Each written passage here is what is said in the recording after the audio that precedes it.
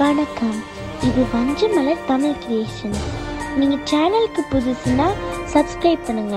கூடவே bell பட்டனும் click பண்ணுங்க. உங்களுக்கு இந்த வீடியோ பிடிச்சிருந்துச்சுன்னா லைக்கும் ஷேர் பண்ணுங்க. வஞ்சமலர் தமிழ் கிரியேஷனின் இனிய வணக்கங்கள். திருவெம்பாவை. சைவ சமய குறவர்களில் ஒருவரான மாணிக்க வாசகரால் சைவத்தின் தலைவரான சிவபெருமானை குறித்து பாடப்பெற்றது.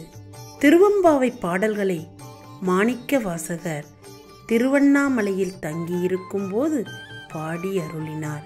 மார்கழி மாதத்தில் பெண்கள் பாவை நோன்பு நோற்று இறைவனை வழிபட்டனர்.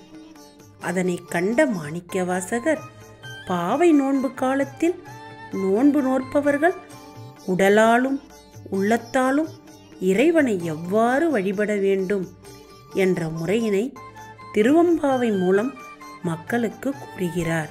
உலகில் உள்ள உயிர்களுக்கெல்லாம் தந்தையாகிய சிவபெருமானின் அருளை தாங்கள் மட்டும் பெறாது தங்களுடைய தோழியும் பெற வேண்டும் என்ற நோக்கில் அவர்கள் அவளை அன்பொழுக அழைக்கின்றனர். திருவெம்பாவையின் முதல் பாடல்.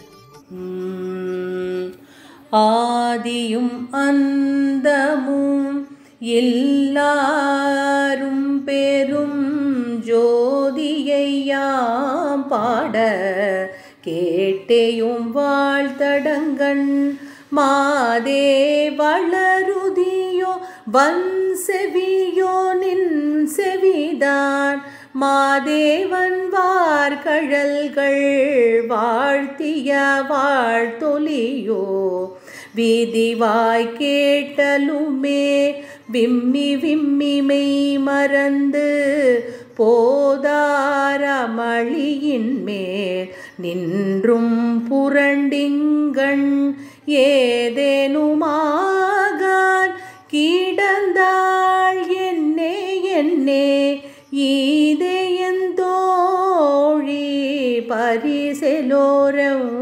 பாவாய். பாடலது பொருள் உலக உயிர்கள் அனைத்திற்கும் தோற்றமும் முடிவும் உண்டு.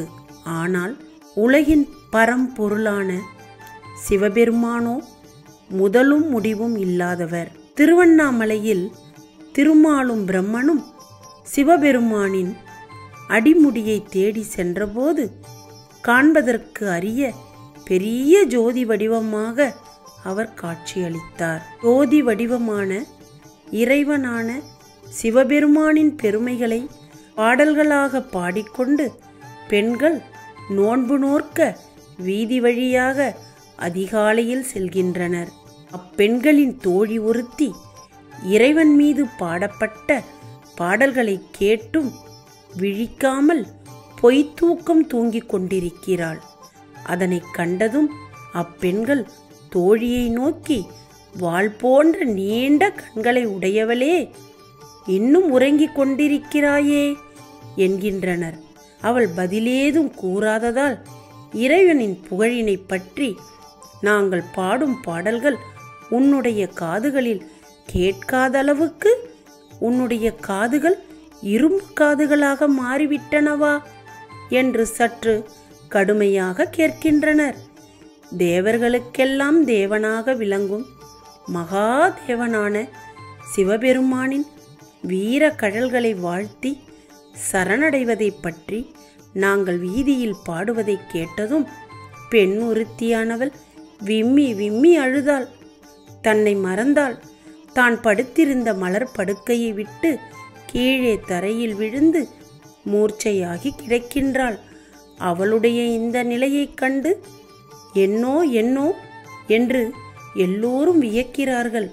ஆனால் நீயோ இறைவனை பாட வராது. பொய்யுறக்கம் கொள்கின்றாய். இத்தன்மையை நாங்கள் என்னவென்று கூறுவோம்? உண்மையான பக்தர்கள் இறைவனின் திருநாமத்தை கேட்டதும் கண்களில் நீர் பெருகி ஆனந்த பரவச நிலையை அடைவார்கள். அத்தகைய உயர்ந்த நிலையை அடைந்து இறைவனின் திருவருளை பெற தோழியை அழைப்பது போல உலக மக்களை எல்லாம் இப்பாடலில் மாணிக்க வாசகர் அழைக்கின்றார். நன்றி.